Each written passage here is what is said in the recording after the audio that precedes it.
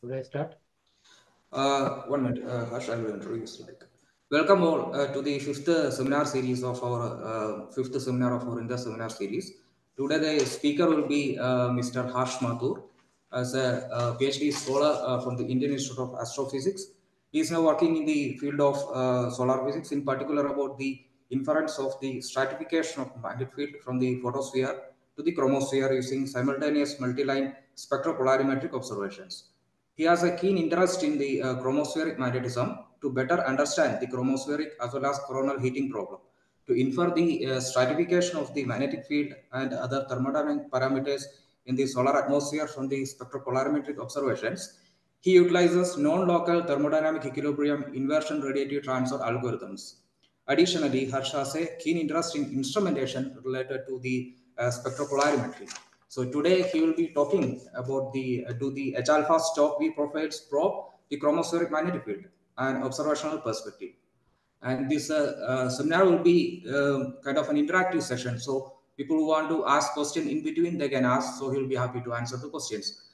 And our recording has already started. I'm over to Harsh. Yeah. Uh, hi, Govind. Uh, thank you for introducing me. And I'd like to thank Indus for giving me the opportunity to present my work. So as Govind said, my title is uh, To the H-alpha Stokes V Profile Probe the Chromospheric Magnetic Field. And this work was done in collaboration uh, with uh, Stockholm Group. And from IA, it was me, Nagaraju, and Jayant. And from Stockholm, it was Jaime. And so uh, coming to a context, as we all aware, like coronal heating problem is a very important problem in solar physics. And typically this is the curve which is presented. So this is a photospheric height where temperature is 4000 and we reach temperature minimum and we goes up and we reach chromosphere, then we reach transition region and we reach corona and we see that the temperature reached a million Kelvin.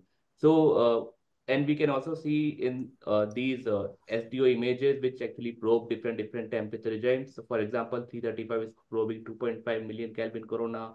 And like if you see uh, was 600 angstrom image, it is probing chromosphere, just probing around 10,000 uh, Kelvin uh, temperature. So different different wavelengths are probing uh, different heights, and uh, we know that uh, uh, the temperature as we go up in the atmosphere, it increases. So why it is so? It's the, there are two mechanisms which are proposed. With one is magnetic reconnection, another is wave heating, which is either it is by through Alfvén waves or there is slow and fast MHD waves.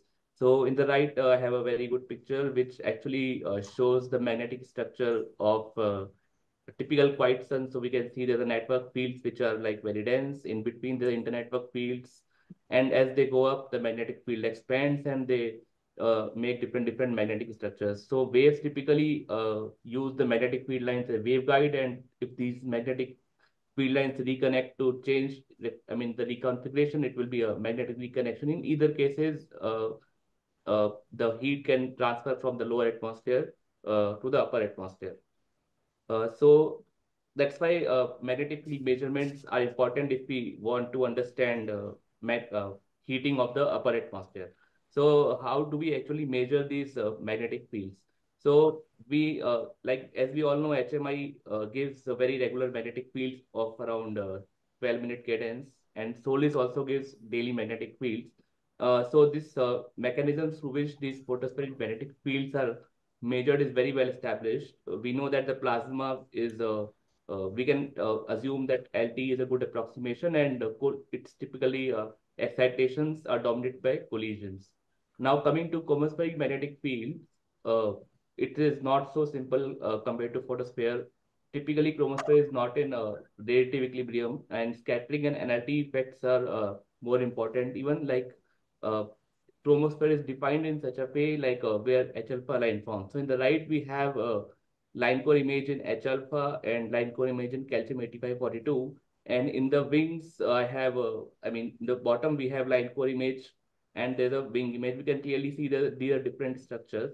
Uh, so now coming to uh, more, uh, coming to specifically magnetic field measurements, although H alpha line, I mean, defined it as where the H alpha line forms, but H alpha line is not used to measure the magnetic field. So like in the right, I have uh, uh, helium Stokes-V profile. So this is helium continuum intensity, helium adsorption, that is the line core, and Q and V profiles of helium. In the bottom, I have calcium 28542 Stokes I and uh, Q and V profile. So typically these two lines are used. So why this is because uh, typically the formation of these lines are relatively well understood and inversion codes are typically uh, available to the community. Uh, now, uh, these are typical examples of uh, chromospheric magnetic field, uh, like recent example like C-class solar flare observed by Yadav and this is a photospheric magnetic field and this was chromospheric magnetic field. This was measured using 8542 line and this was using 6173. And another in the right, it was measured, this is a during umbral, umbral flashes uh, so this is a time variation of uh, line of sight magnetic field measured during helium-1 10 at 30 line. So although we have these uh, uh two lines to measure magnetic field, it is uh, there are still some limitations. For example, a 10 at 30 line depends on uh, coronal and transition region UV radiation, and it samples upper chromosphere. What it means is like it the 10 at 30 line typically does not form in quiescent. It will only form over active region uh, like sunspot or plages. So you need a very, I mean, you need this emission, I mean, radiation from the corona to uh, come towards, I mean, illuminate the chromosphere, then only this line will form. And the problem with calcium 2 IR line is it's uh, like if as the temperature increases, for example, during a heating event such as flare, uh, calcium 2 will get ionized to calcium 3. And when that happens, the calcium uh, 8040 line will sample the lower photosphere. For example, uh, we can see in this particular image. So this is a photospheric magnetogram and this is chromospheric magnetogram. And this portion was inverted by Yadav and we can clearly see the uh, magnetic structure is very similar to photosphere and, and chromosphere. Also, this so in the in, flare.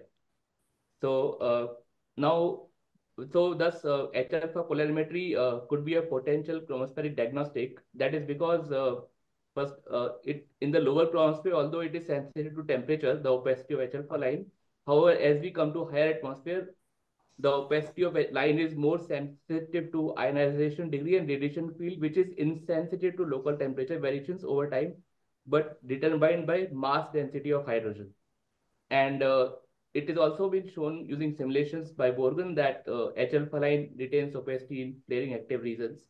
Thus, the polarimetry in H alpha line simultaneously along with other chromospheric lines such as 8542 or 1030 could be a could provide reliable stratification of magnetic field in the chromosphere. Uh, so, although alpha line could be a good chromospheric diagnostic, uh, there are only few examples available in the literature. Uh, uh, typically, H alpha line is only used in identifying and classifying classifying events through imaging and spectroscopic data.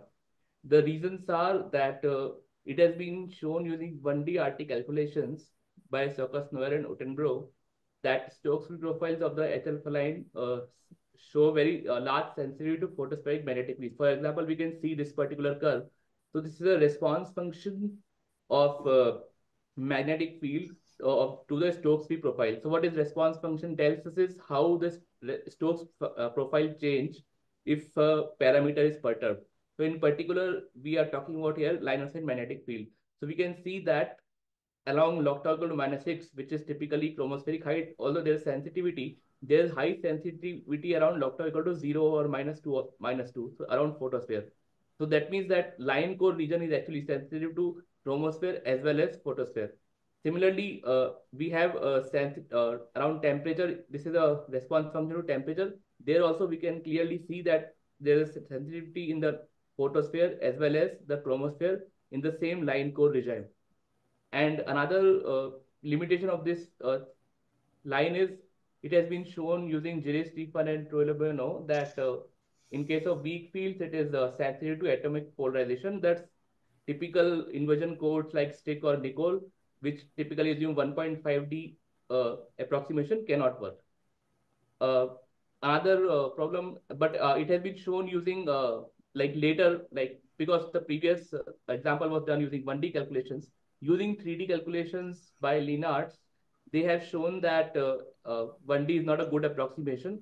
And if uh, these conditions, for example, non-LT electron density and S static equilibrium and CRD are assumed, the H alpha line can be uh, very good. I mean, very uh, model very realistically. So this uh, curve is clearly shows the granulation pattern in the line core when using 1D radiative transfer, and this shows a typical uh, fibrillary structure uh, if when using 3D calculations. So the it means that the problem was with the modeling, not with the line itself. And uh, however, this uh, they have not modeled the Stokes V, they have only modeled the Stokes I. So thus, uh, uh, thus uh, I mean, the idea is we can use H alpha line along with uh, existing uh, lines, for example, calcium, to uh, investigate the chromospheric magnetic field. So to investigate the diagnostic potential of the H alpha line using observations, we had access to simultaneous observations of a pore in calcium 2 line and H alpha line. And we what we did is infer the stratification of uh, magnetic field using calcium 285 line. Then we infer the magnetic field of, from the H alpha line using weak field approximation. Then we compare the stratification. That is our main idea, and we see like what we find. So these are our observations. So observations were taken from a Dunn's solar telescope uh, on December 4, 2008 using SPINOR instrument uh, spectral resolution, uh, it's, I mean, moderate, not great, but okay. Uh, resolution power spectrum 20,000 and spectral sampling we have very good and uh, like 22 milliangstrom, sorry, and 33 milliangstrom. And uh, along with the H alpha line, we have in the blends of the ATF 40 line are also recorded as well as in iron 6569 angstrom blend is also recorded. So for example, I can use these two um, silicon and iron blends along with the 1842 line to uh, infer the stratification instead of just getting a one value. And mu of the observation is 0.8. So little bit off center from the disk observations are. So wait. Uh, so these are my observations. so uh, this is, I think, calcium. Uh, this is of, I mean, A and B panel are basically calcium H alpha. Uh, for, I mean, line wing image basically represent photosphere. And the C and D are calcium and H alpha line core image. So they are actually typical uh, chromosphere. And in between, I have, in the contour, I have marked the location of the pore. And uh, the E panel is basically weak field approximation done from the calcium and F panel is uh, Milne-Eddington inversion of the Ironman 6569 line. So in this uh, field of view, uh, we should see the interesting part is uh, the polarity is changing from the uh, uh, positive to negative, like this region and compare this region. So this is actually a positive polarity region in the chromosphere because it is sampling calcium is chromospheric line, but 6569 iron line samples photosphere. So this is actually a negative polarity region. So point is, uh, if we have, because we have H alpha line, we can compare what does H alpha line gives, whether it gives a positive polarity or negative polarity, and we can clearly see, uh, I mean, what uh, height it is sampling. Uh, now coming uh, now uh, some sample profiles. So to clearly show this point, for example, we see this green profile mark in this particular contour. So this is my calcium 28542 line, and this is the Stokes V profile. So this clearly shows a negative sign of the Stokes V. But if we see in the line core, we have a positive sign in the Stokes V, which clearly uh, says that uh, the magnetic, I mean, magnetic sign reversal is there unless, uh, and green color profile is also almost, uh, there's no emission feature. That's why the sign of the Stokes V should be the sign of the magnetic field. And uh, similarly, this is H alpha line. This also shows opposite sign like 6569. Uh, now this has, this shows nine negative sign of Stokes V and this is positive sign of the Stokes V in H alpha. And other profiles typically show same sign like from compared where mouse is this positive sign and positive sign. So it is matching uh, uh, to in the both regions. So these are so this is uh, purple line. It is somewhere uh, here. So which is the same polarity in both the photosphere and uh, chromosphere. Uh, similarly, we can compare the spectral images as well. So uh, like in this particular region, we can clearly see this Stokes V sign changing as we move from the wings of the calcium line to the core of the calcium line. So this black and white, like from this to this, this is actually a photospheric signature and this is actually probing the chromosphere.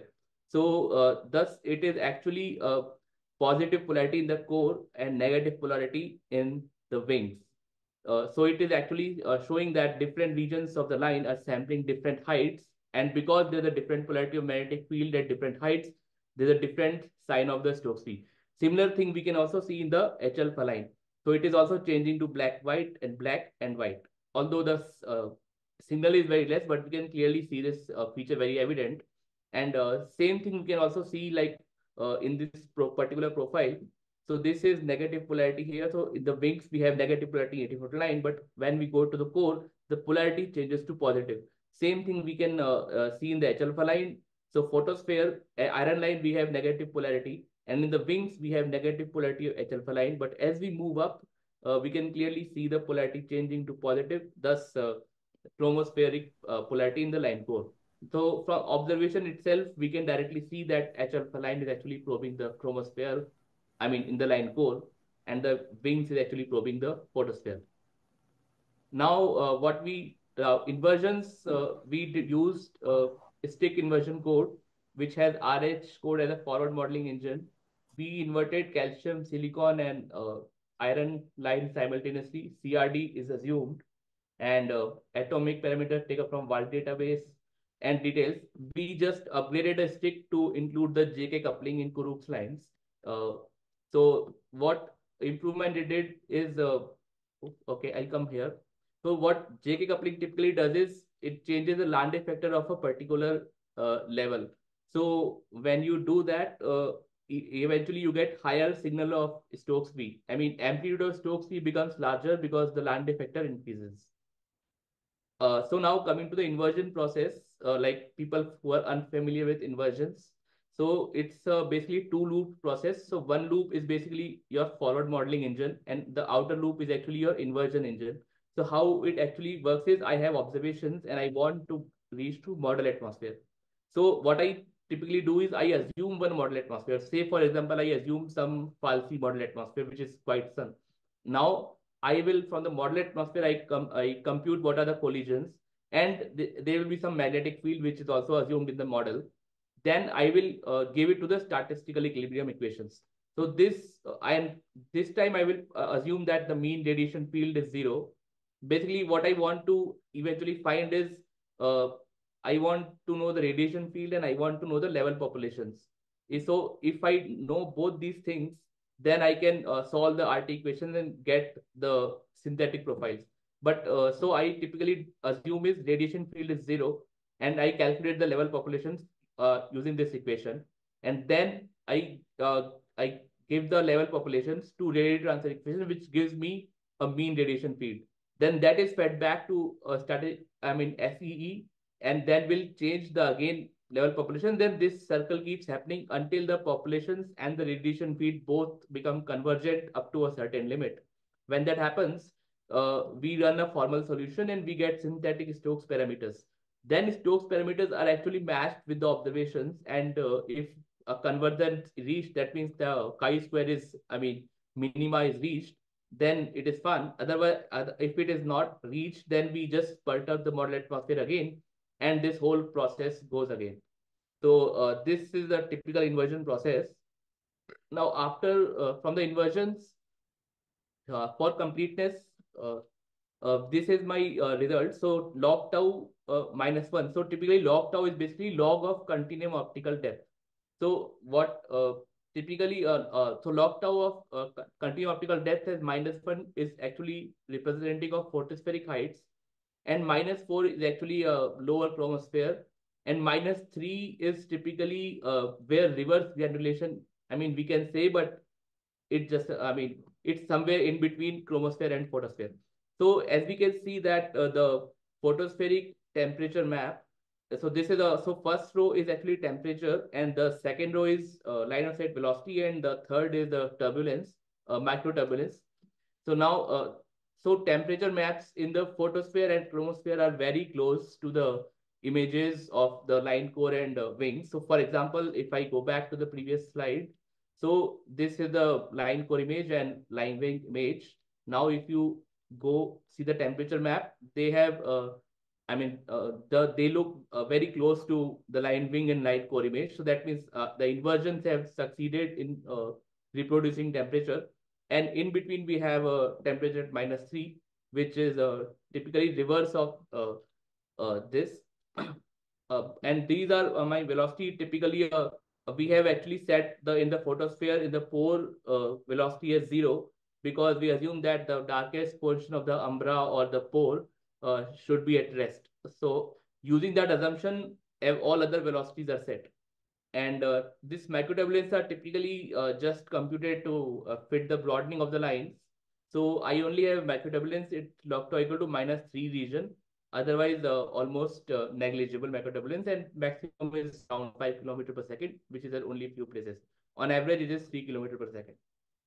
Now coming to the qualitative results. So for example, uh, this is a Stokes I profile of pore and this is Stokes V profile of pore. So in the dotted lines are actually observed profiles and the solid lines are actually the fits. So we can see that uh, it has reproduced very well even the asymmetry is also reproduced very well up to, although this small portion is not fit, but still the Stokes free profile is asymmetric.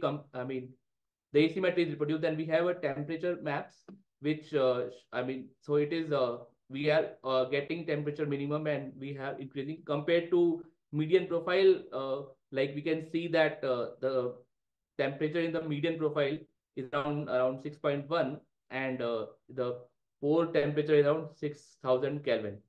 Uh, so this uh, is actually a the second profile is actually a surge flow profile. So this is somewhere here, this bright, this brightening where temperature emission is there. So here we can see that there's an emission feature in the Stokes I. Uh, and uh, because of this, there is a sign reversal of the Stokes V also, which is also we have fit very well and that there's a temperature rise also of around 800 Kelvin or something, like we can clearly see in this particular 4.5 uh, log Uh, now coming to line velocity, uh, median profile is uh, around minus 3 because we have assumed pole is 0 at, uh, this is my reference. Uh, then we have magnetic field of 800 Gauss in the photosphere and 400 Gauss in the chromosphere. Similarly, we have uh, uh, in the surge flow, we have magnetic field of uh, around um, 0.4, yeah, 0.5 into 100, uh, 50 Gauss and uh, 200 Gauss in the, because so the magnetic field is actually increasing in the surge flow in the chromosphere. And uh, the third profile is the most interesting one because this is the profile which is uh, at the region where the polarities are actually changing. So here we can clearly see that the uh, profile is typical uh, nominal absorption profile but still the Stokes V profile is actually going uh, below zero, and that is it is going negative in the wings and going positive uh, in the core. So and we can clearly see the magnetic field is minus around 200, 220 Gauss uh, in the photosphere and plus 200 220 Gauss in the chromosphere. Uh, but and the temperature is almost similar to the median profile.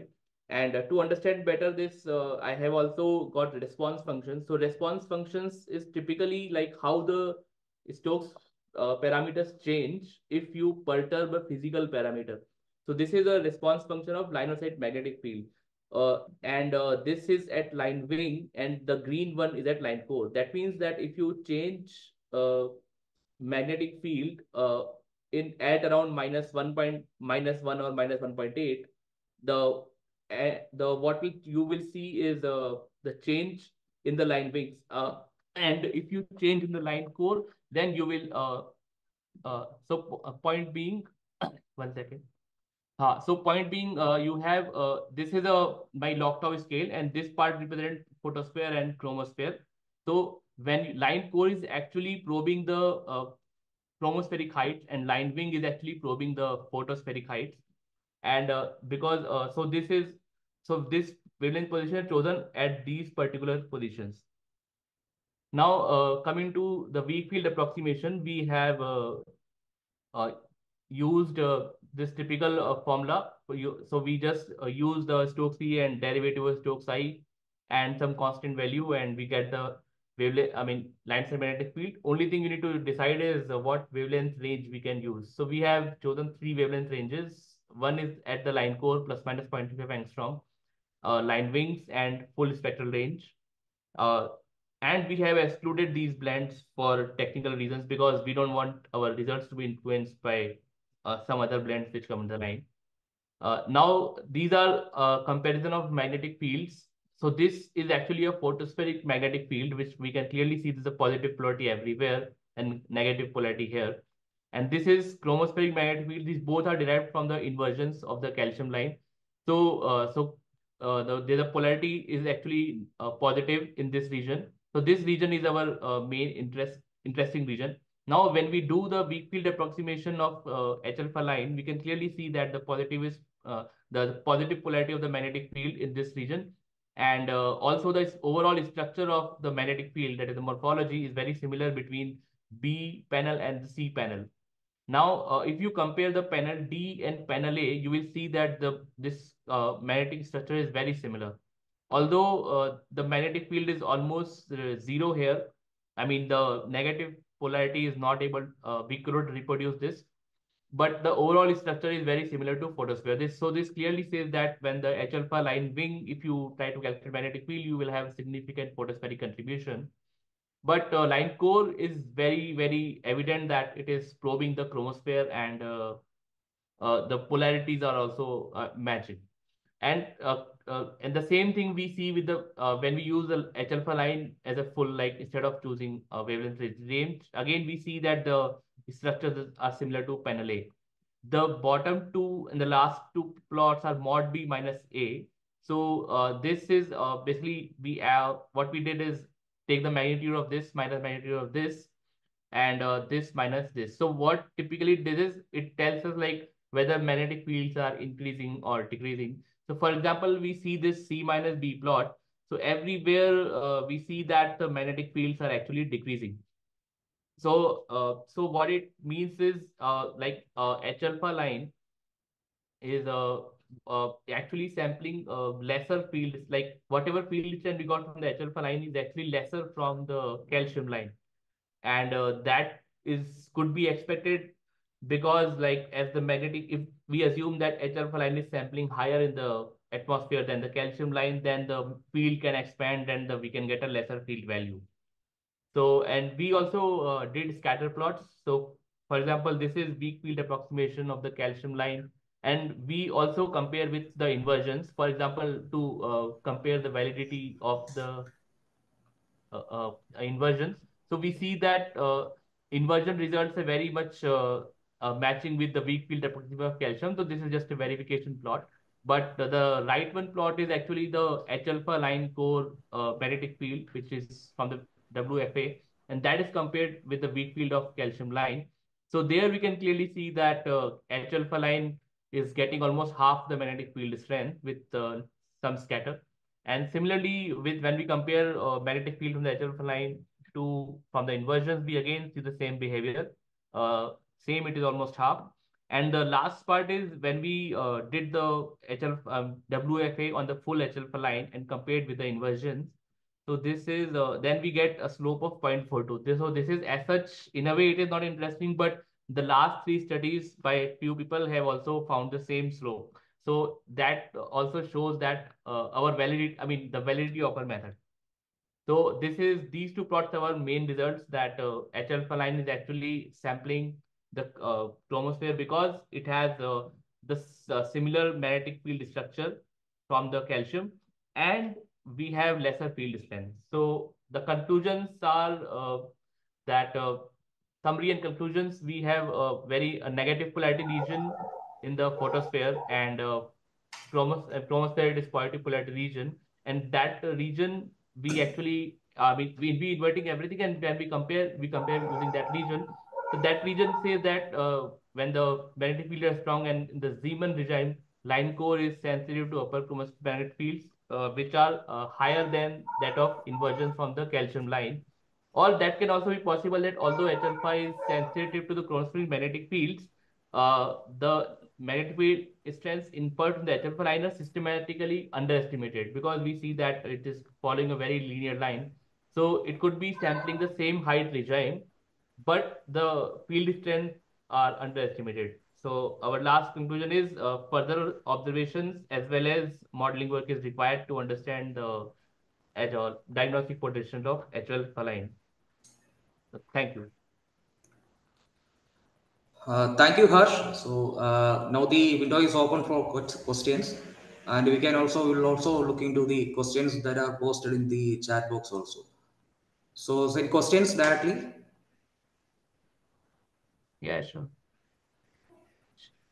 Okay, I will read the uh, question for you in the chat box. Uh, the Stokes V profile uh, in the H alpha line or any other line mentioned in this stock, is it because of Zeeman splitting or this another phenomenon for the generation of circular polarization uh, in the spectral lines? Uh, for the comparison of uh, in the like, I would just talk about the sun.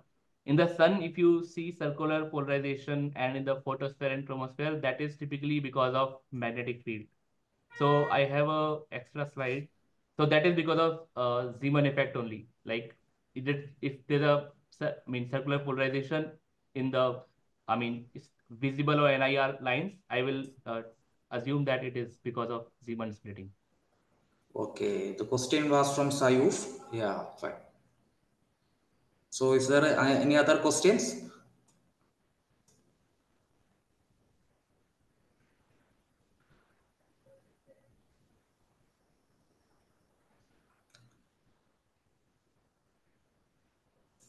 Um,